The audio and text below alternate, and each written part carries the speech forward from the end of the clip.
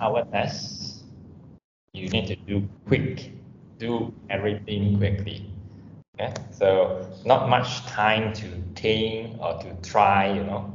That's why do more past paper. You have experience by practicing past paper. Then when you sit for exam, you can answer quickly because you have done a lot. Okay, so instructions, answer all questions, use a black or dark blue pen. Can I use pencil? You may use an HB pencils for any diagrams or graph. So pencil is for diagram or graph. Huh? Okay, so words or, or sentence you have to write in pen. Write your name, center, name, number, candidate number in the boxes at the top. Okay, so write your answers to each question in the space provided. Do not use an erasable pen or correction sheet uh, do not write on any barcode. So if there's barcode, don't write over there. You may use a calculator. You should show all your working and use appropriate unit, 40 marks. Okay, so let's see. The apparatus shown was used to determine the percentage to percentage of oxygen in a sample of air. You know, in general, air contains 21% of oxygen, but this is a sample, so what percentage? Don't know yet. Okay, now let's see, you have a syringe over here, and then you have syringe over here. This syringe seems like the piston has been dragged backwards a bit with certain air here. So this part, no, no air. Copper pieces in, in between glass tubes to connect with the two syringe. And the glass tube was heated strongly, glass tube at X. So heat strongly at X, while the sample of air was passed backwards and forward over the copper pieces in the tube. So how to pass backward and forward? Uh, so the prediction will be you press the piston, then here you pull away. Then the gas will go to the left. Then after that, you push the piston inside, and then here you drag out. Then the gas will go to the right. So it is expected to do something like that. The source of heat was gradually moved along the tube from X to Y. So you heat at this point, then you slowly move to Y. During the experiment, the copper pieces in the glass tube react with oxygen in the sample of air. Okay, so you should expect something like this. Huh? Initially, you have more volume. So after that, the air pass through the copper pieces the copper react with oxygen to form copper 2 oxide and then the air, the volume of air decreases. You can measure it when you push the piston in and here you can see the volume of gas which should be lesser you know because certain oxygen has been used up here. Okay. Now name the items or apparatus labeled so, so I have a question. Uh, so if the piston in the piston B is like pulled, uh, so I still like uh, don't understand how the air is actually transferred. Imagine you push. Yeah. Push here, then the air will go to this side and then uh, the air will fill up this space and they will push the piston backwards naturally. Oh, okay. Okay, sir. Understand, sir. So, um, so basically I have to pull B. Okay. Push B. I have to push, push B. Push B and then the the air will come here. The air will just push A naturally. Yes. When they reach here, then you push the piston A after taking the measurement. And after taking the measurement, you push A, then the A will come here again. Okay, sir. Understand. So name the items apparatus labeled B. So this is syringe or gas syringe. Okay, so find the answer. This is I cannot see piston right, sir. Uh, piston is this part only. Uh, they don't accept piston. Uh. Uh, they want the whole thing. Syringe. So gas syringe. Name the items of laboratory equipment that could be used to heat the glass tube strongly. They want to heat over here, so you can use Bunsen burner. Bunsen burner. Okay, so part C, the copper pieces at Y, yeah, did not change color when they were heated. Not change color. You know when copper change to copper 2 oxide, yeah? so the copper is initially brown color, copper 2 oxide is supposed to be black color, so they're supposed to change color. Okay, so uh, so that's why the copper pieces and Y did not change color. Okay. So it did not change color, that means uh, it's not heated. Not Heated, uh, you see, when they were heated. When were heated, you know, you heat over here first, then you slowly move the Bunsen burner to this side. Uh.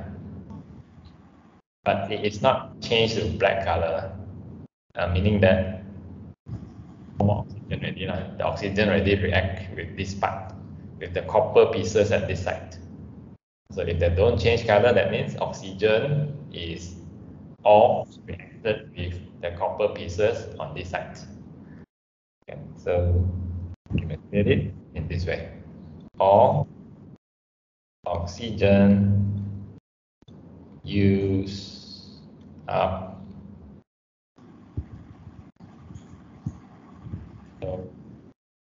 copper does not react. So when you look at uh, the the first three parts that we have gone through, uh, you will realize we need use common sense, critical thinking. The notes that we have gone through before this doesn't really have much contribution, you know. So uh, of course, they just let you have some understanding that uh, copper can react with oxygen to form copper dioxide. Uh, then you have some basic help. And when you answer exam questions, the notes not really useful anymore. Critical thinking is the main thing.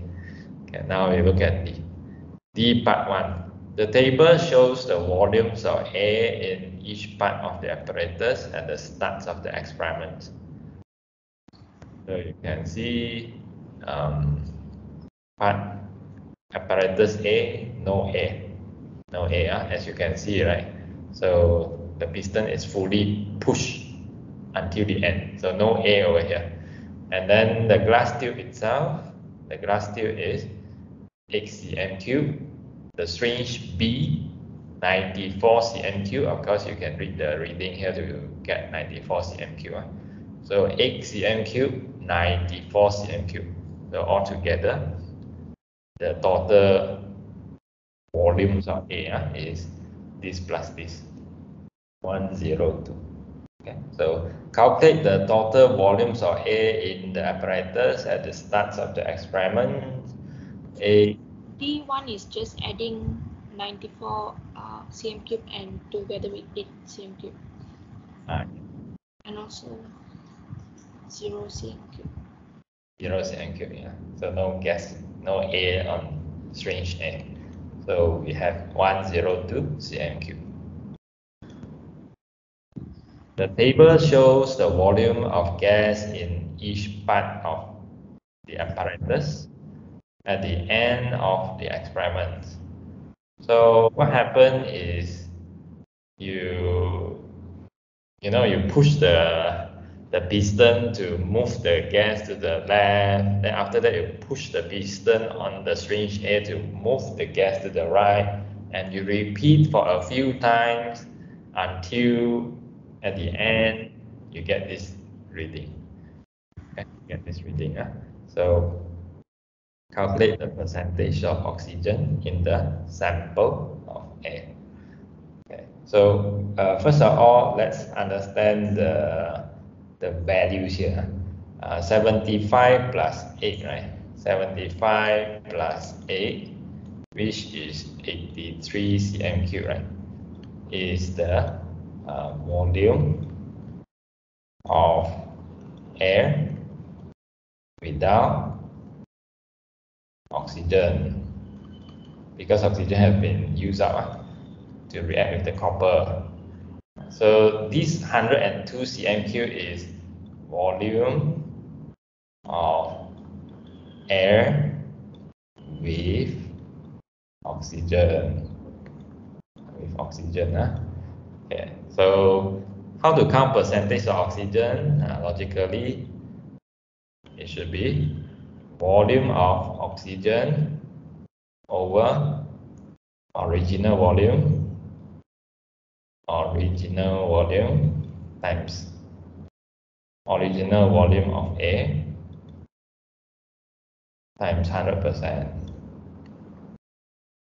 Okay, so volume of oxygen, this minus this. 102 minus 83. Original volume, 102 times 100% should be around 20%. I. So let's count and see. Yeah.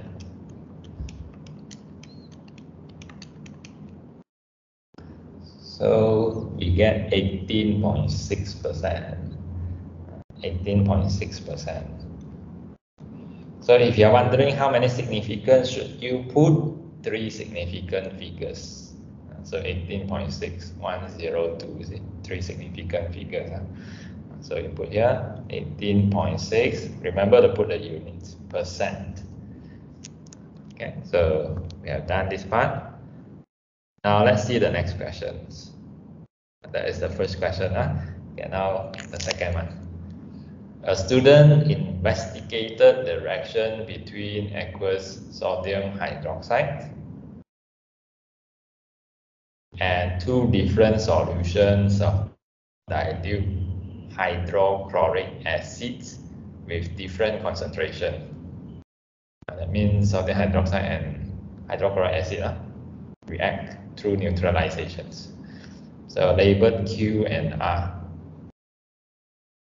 using two different indicators. So Q is hydrochloric acid with the first concentration. R is hydrochloric acid with another concentration. So three experiments were done. Experiment one, a burette was filled with hydrochloric acid Q. A burette, something like this. This is a burette. You fill up with HCl Q. What concentration, don't know. Some of the dilute hydrochloric acid was run out of the burette so that the level of the dilute hydrochloric acid was on the burette scale. So you have to make the level uh, stay in uh, a scale, a particular scale, so that you can record down the initial reading. You know. So using a measuring cylinder, 25 cm cube of aqueous sodium hydroxide was poured into a conical flask. So you put a conical flask here. Okay, then you put 25 cm cube of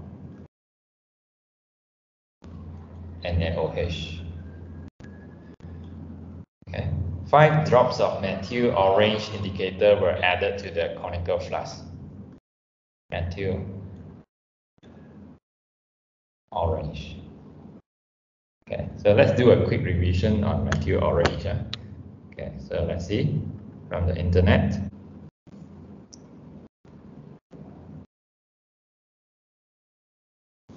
in acidic pH, methyl orange should be red to orange, depends on depends on pH. In neutral, methyl orange should be yellow. In alkaline, methyl orange is also yellow. So yellow, yellow, red, orange. So, okay. Let's go back to the questions.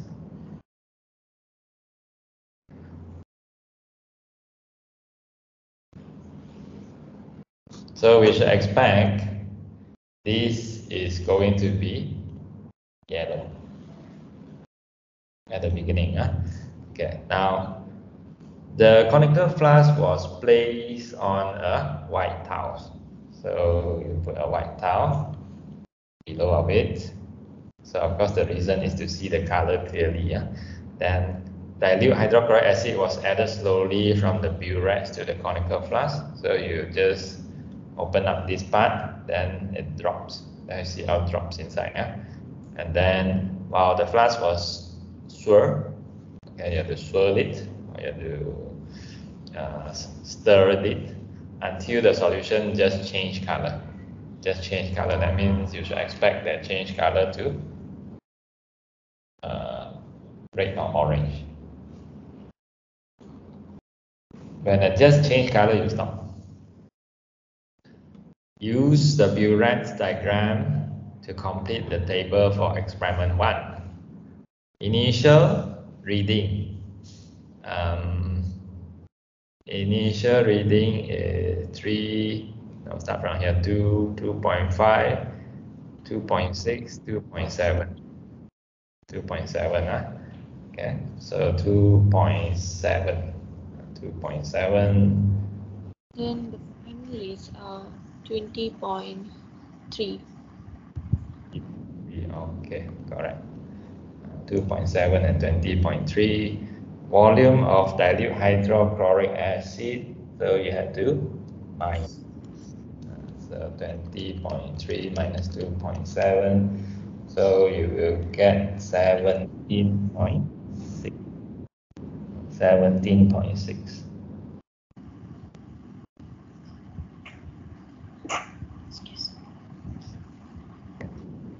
Let's move on. The conical flask was emptied and rinsed with distilled water. The burette was rinsed with distilled water and then with dilute hydrochloric acid R. Experiment 1 was repeated using dilute hydrochloric acid R instead of dilute hydrochloric acid Q. Okay, now you have the reading they do the same thing but with different hydrochloric acid. Uh. So initial reading here, 8.1, 2, 3, 4, 5, 8.5. 8.5. Okay, final reading 43.7. 43.7. Uh. Okay, so 43.7. Okay, so then we minus we minus together as it added. So we minus, we get 35.2. Now, experiment 3, the conical flask was emptied and rinsed with distilled water. Experiment 2 was repeated using thymolphthalein indicator instead of methyl orange indicator. Okay, so let's take a quick look on the color of thymolphthalein. Okay, so yeah. Can I know why did they do the test three times? Uh, if you know later, actually, yeah, that will slowly guide you to it. So, thymolphthalein.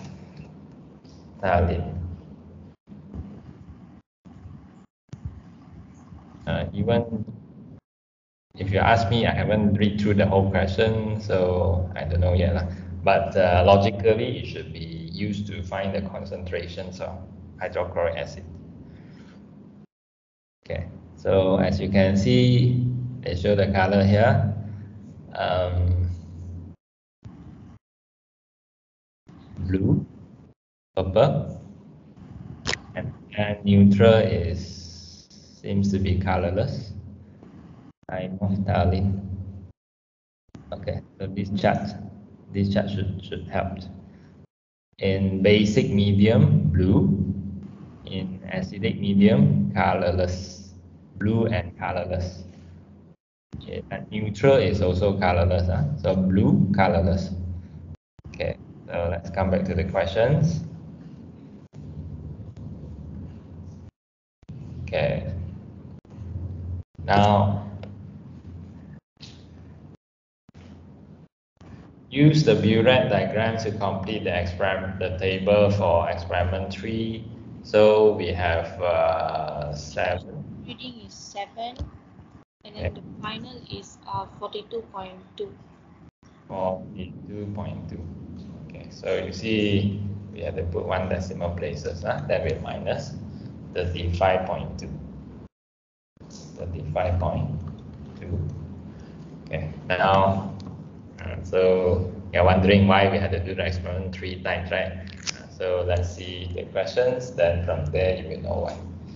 Determine the simplest whole number ratio of the volume of dilute hydrochloric acid R used in experiment 2 and experiment 3.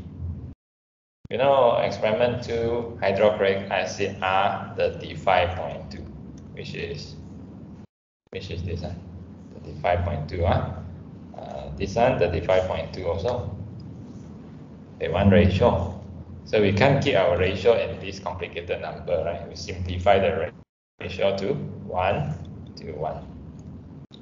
Deduce the volume of dilute hydrochloric acid Q needed when experiment 1 is repeated using thymolphthalein indicator instead of methyl orange indicator.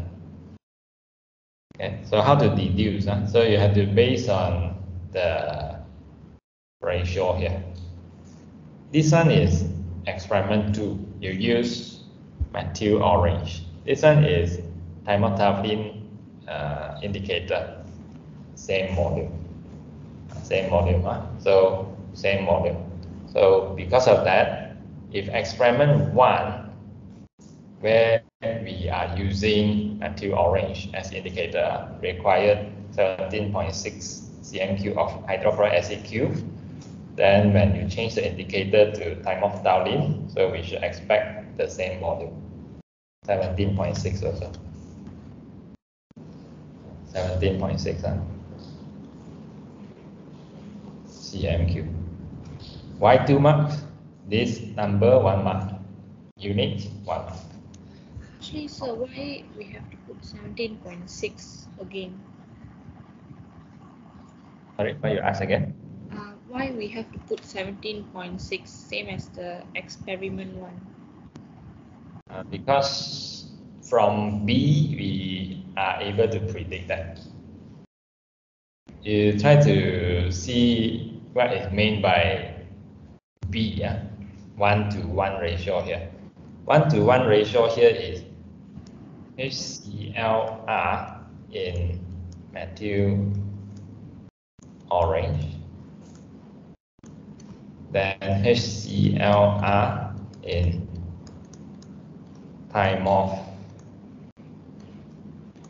thymolphthalein. So you will realize the volumes of HCl are in the two different indicator is no difference. Then experiment one is HClQ in methyl orange. which is 17.6. Now they are asking HClQ in thymolphthalein. So because of that, based on our previous result, we show the same volume. And now they said deduce, right? Deduce means look at the previous result to predict. So since the, the ratio is 1 to 1, which means same volume, uh, then when hydrochloric acid Q is used, so should be the same volume also. Although you change the indicator, but uh, the previous result showed that it is the same, so this should be the same also. So that's why 17.6. Okay, understand. And yeah, we look at D. Compare the concentration of dilute hydrochloric acid Q used in experiment 1 to the concentration of dilute hydrochloric acid R used in experiment 2. Explain your answer. You see, hydrochloric acid Q seems to be less in volume, uh, less by half compared to this.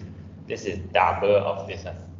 So meaning that HClQ uh, should be concentrated, double the concentration of R.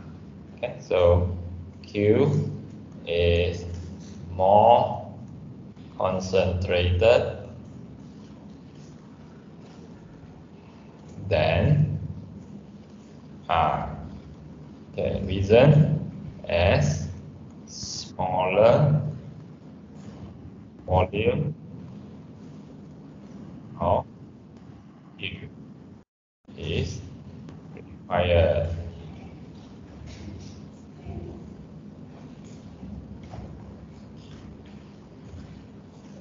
Only. Huh? Uh, to get the third mark, so what you can say is, you can say Q as twice the concentration of R. So you compare it by specified concentration to be twice, and then you get the third mark. You compare it in general, you get one mark. You specify it, one more. So kind of easy to get marks, you know. Now we look at it. State how the result change, if at all, if the aqueous sodium hydroxide is warm before adding the dilute hydrochloric acid. Give a reasons for your answer. You you heat up hydrochloric acid. So do you think we need more hydrochloric acid or less hydrochloric acid?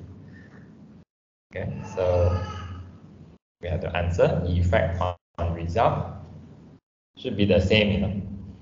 You heat it up, they just react quickly. So you increase the rate of reaction. The thing is, we are talking about the amount of hydrochloric acid added to it. The amount of sodium hydroxide is not changed, so the amount of hydrochloric acids to be added should be the same. Okay, so not reasons uh, does not change the concentration of sodium hydroxide. Um, so I still don't understand uh, E. Yeah. Okay. Uh, I repeat the important statement again. Uh. Okay. You are heating up. You just warm the hydro the sodium hydroxide. You are not changing the concentration of the mole of NaOH.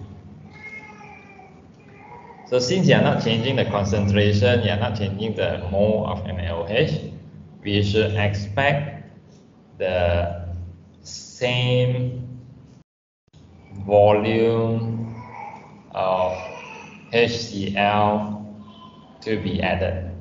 Should be the same volume. Okay, so you warm the NaOH, right? You don't change the concentration, you don't change the mole, then we should expect the same volume of HCl is required to neutralize it. Okay, so that's why the, the effect on result we say none. You still need the same volume. Okay, no change. Of course, if you add water, then uh, concentration is, is different, but the mole is still the same, so still no change also. Okay, so it depends on the mole basically. Yeah. Now, F state the advantage of using a pipette instead of the measuring cylinder in these experiments. Okay, so pipette, of course, more accurate compared to measuring cylinder. So more accurate. Explain why a white towel is used in this experiment. So, the change of the indicators. Color change of the indicator uh, can be seen easily. So, color change can be seen easily. Okay, now part H. At the start of experiment 2, the burette was rinsed with distilled water and then with dilute hydrochloric acid R. So you had to explain, uh, state what was removed from the burette when it was rinsed with distilled water. So you remove the previous acid or acid Q. Okay, then State what was removed from the burette when it was rinsed with dilute hydrochloric acid R. So now you are removing the water, the distilled water just now. Explain why the burette does not need to be rinsed at the start of experiment 3. Experiment 3 used the same acid as experiment 2, uh, so that's why I don't need to rinse. Uh. So same, acid use. Okay, so then after the burette was filled with dilute hydrochloric acid at the start of experiment 1, some of the acid was run out of the burette. One reason for running the acid out of the burette is to make sure the level of the hydrochloric acid is on the scale. Give one other reason why it is important to run some acid out of the burette after it has been filled for the first time in an experiment. So you have to give another reason. Okay, so um, the reason is to you know the burette, right?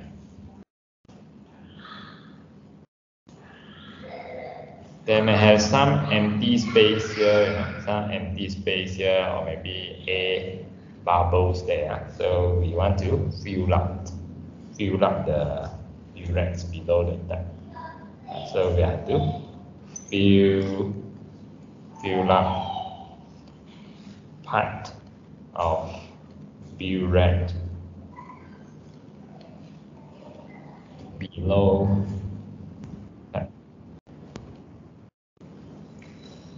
Okay, so that's why we have to run for the first time. Okay, just to fill up the, the, the space, huh, which is filled up with A at the beginning. And after that? So the one is fill up out of the burette below tap. Yeah.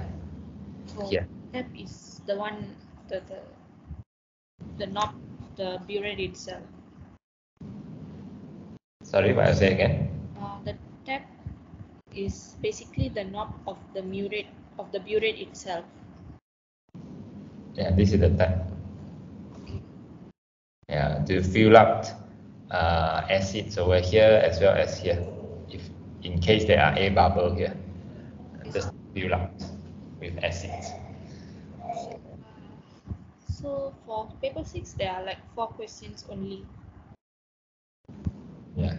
Uh, imagine four questions in one hour, huh? so have to be quick. Huh? So that's the thing. Now, let's see question three.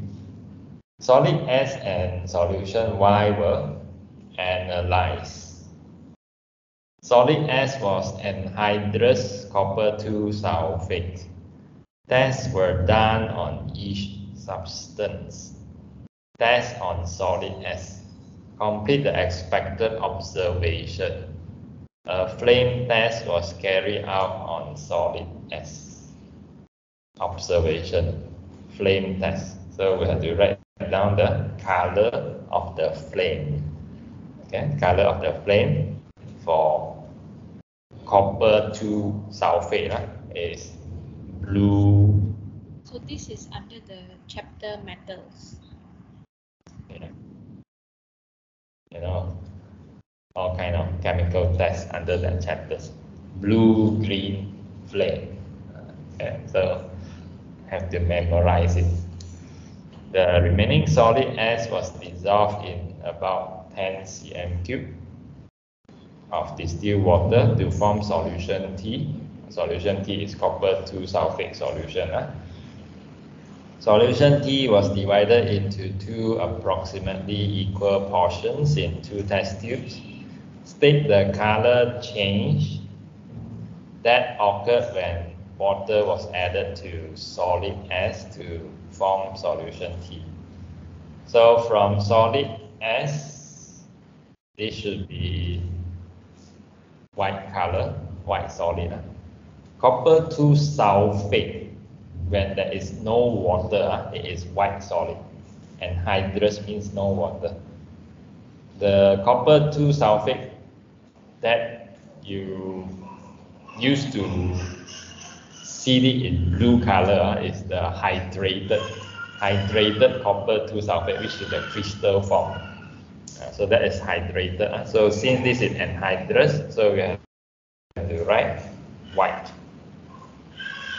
white solid to solution T. When you add water to it, it becomes blue, blue solution. Part C. To the first portions of solution T, about 1 cm depth of dilute nitric acid, followed by a few drops of aqueous barium nitrate were added. So imagine you have CuSO4. Then you add barium and it becomes barium SO4, which is the white precipitate. So because of that, the answer is white precipitate. Because of the barium sulfate. To the second portion of solution T, aqueous ammonia was added dropwise and then in excess observations. Okay, so you should expect uh, the blue precipitate. Blue precipitate is formed when you add for the few drops. Then the blue precipitate dissolve when you add in excess. Okay, so light blue precipitate dissolve to form a deeper blue solution. Okay, how to get three marks? Light blue precipitate, one mark dissolve to form a dissolve to form a solution, one mark. Deeper blue solution, the third mark. So get three marks in that way. Uh. So memorize the color. Then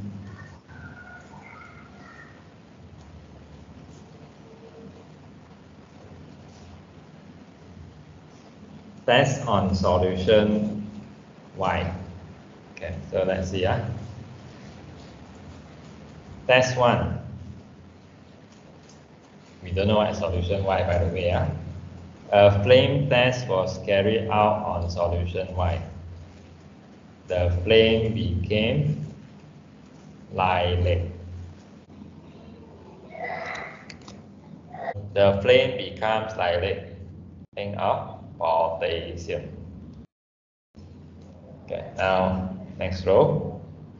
Solution Y was divided into three approximately equal portions in one boiling tube and two test tubes. Dilute hydrochloric acid was added to the portions of solution Y in the boiling tube. The mixture was warm. Strips of filter paper soaked in acidified aqueous potassium manganate 7 was held at the mouth of the boiling tube. The acidified aqueous potassium manganate 7 remain purple. Okay, so that means uh, it is not oxidizing anything. So it's not oxidizing anything. So for these situations, uh, let's move on first. We can't decide anything yet. About 1 cm depth of dilute nitric acid, followed by a few drops of aqueous silver nitrate were added to the second portions of solution Y yellow precipitate. So you know silver nitrate is used here, yellow precipitate. So you think of silver chloride to be white, silver bromide to be cream color, silver iodide to be yellow. Okay, so this should be silver iodide. So that means solution Y has iodide. So Y has iodide. Aqueous ammonia was added dropwise and then in excess to the third portions of solution Y. Uh, white precipitates form which dissolve in excess to give a colorless solution. So when you have this observation, so you should think of a particular cation. Uh. So if you can't remember, let's take a quick look. So they said dissolve. Uh. We look at this column. Uh, this one white precipitate soluble in excess giving a colorless solution. Okay, so let's come back to the questions. White precipitate dissolved in excess. So you should think of zinc, zinc 2 plus. Zinc 2 plus. Huh? Okay, now name the gas tested for in test 2. In test 2, uh, this one. Okay, so why we want to use potassium manganate 7, although there is no outcome here, so they just want to ask to, to test uh, whether you know this or not. So actually, this potassium manganate 7 uh, is to test the presence of sulfur dioxide. If sulfur dioxide is present, it is going to be oxidized to sulfur trioxide. So we test with this uh, sulfur dioxide. So that means there is no sulfur dioxide gas coming out lah, after doing all this. No sulfur dioxide coming out. Lah. Identify the three ions in solution Y. So potassium ion,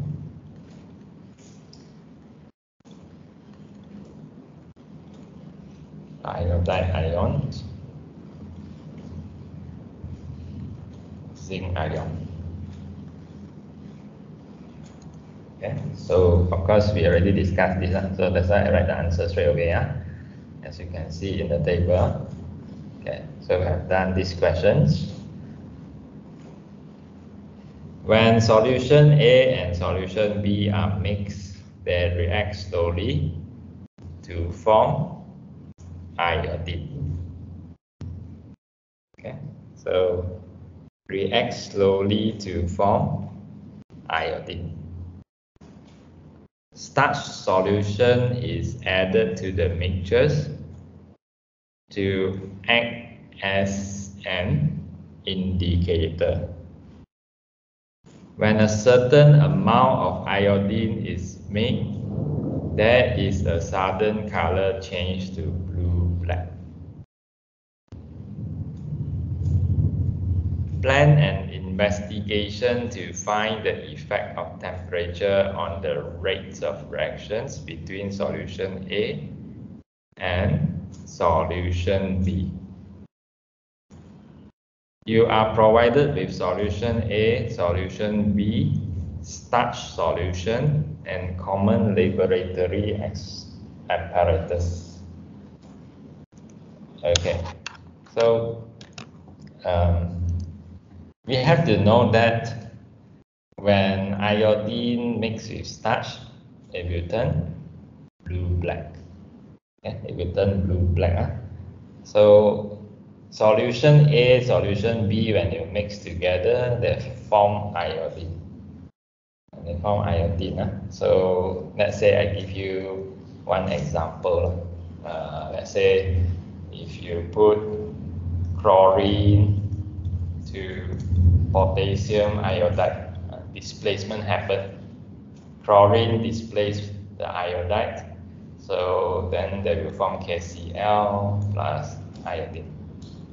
So example, just to let you see some example that may make you understand this reaction. Huh? So when iodine is formed, then you you you add starch solution to it. Huh? So the starch solution react with the iodine, then the color change to blue-black. Plan an experiment to find the effect of temperature on the rate of reactions between solution A and solution B. Okay, so you just plan the whole experiment. Huh? You see the marks given here, six marks. Okay, so six marks. Uh, let's see what point is required. Okay, uh, we set up some volumes of solution A and solution B. Okay, so let's say I set uh, 50, 50 cm cube of solution A and 50 cm cube of solution B are prepare.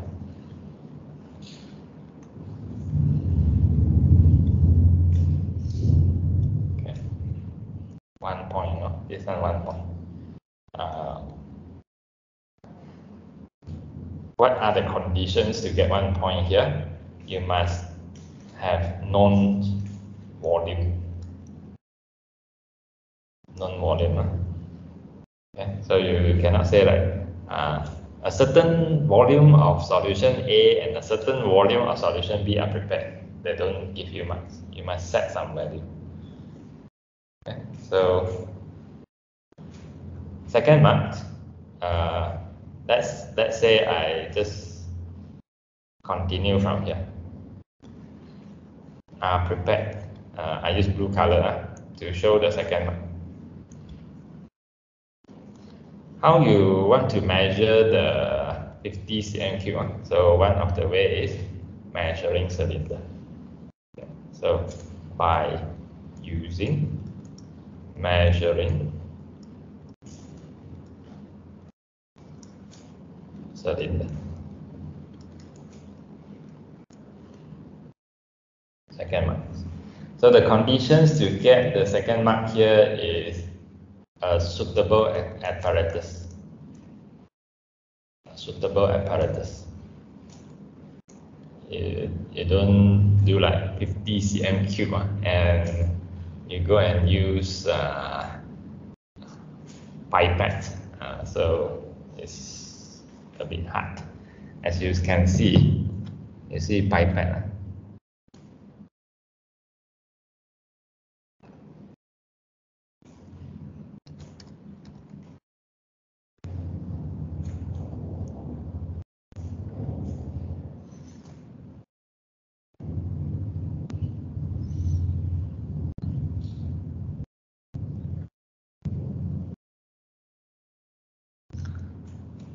Unless you have this pipette lah, 50 cm cube is possible. You know, normally in the laboratory, the pipette is used to measure very small volume. So that's the thing. Okay, now let's move on. Okay, so the third point.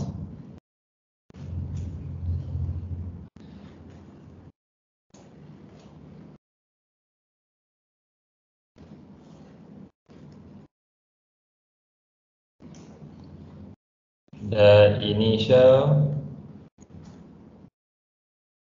temperature of solutions A and solution B. Are measured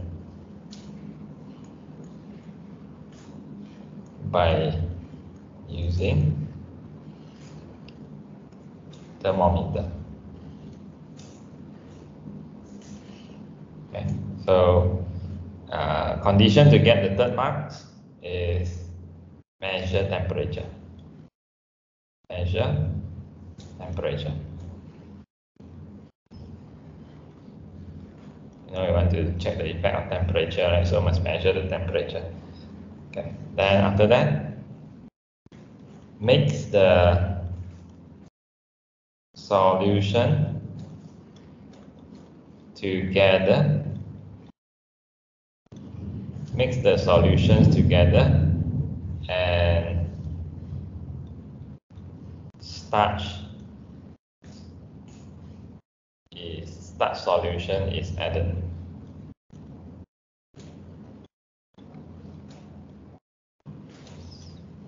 So you get one mark. Okay. So the keywords, the condition to get the, the, the marks here is you have to mix the solution. Mix them up. Okay. Then you have to uh, you have to check the time, uh, how long it takes for the blue blacks to come out. You know?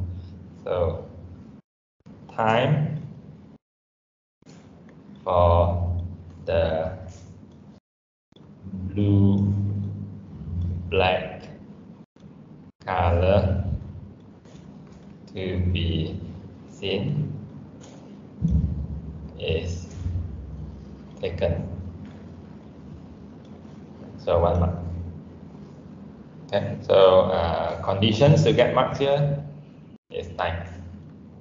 You must mention uh, you measure the time, you know, rate, how fast the reaction happens use time to, to indicate that. Then you have to uh, repeat the experiment at different temperature.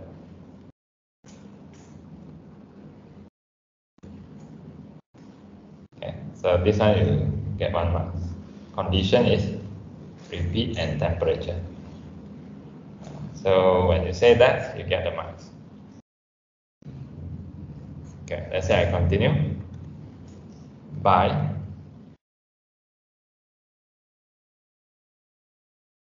warm up, warming up the solutions before they are mixed.